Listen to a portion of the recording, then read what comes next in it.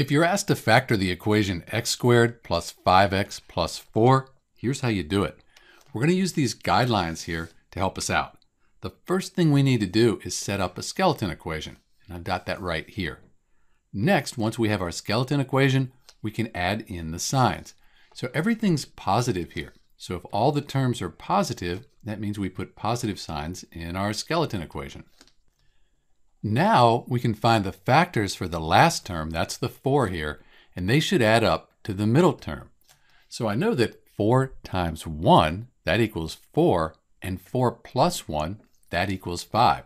So I'm just going to put a 4 here and a 1 here, and we're done. We've factored the equation x squared plus 5x plus 4 equals 0. But it's a good idea to check our work with the FOIL method. So we multiply the first term, x times x, plus the outside terms, x times 1, that's just x, inside terms, 4 times x is 4x, and the last terms, 4 times 1, that gives us 4. All that equals 0. We combine these terms here, and we get, and this, that's the same thing we started with. So we've factored the equation x squared plus 5x plus 4 correctly. Let's find the values for x that'll make this all equal to 0. So we have 0 equals 0. That's a true statement. So we say x plus 4 equals 0. x equals a negative 4. Here, x plus 1, that equals 0. So x would equal a negative 1.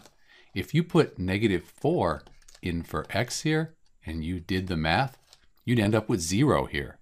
Likewise, if you put negative 1 in for x, and you do the math, this will all equal zero. So we've done this correctly. If you use the quadratic equation, you get these same numbers. This is Dr. B, factoring the equation x squared plus 5x plus 4 equals 0.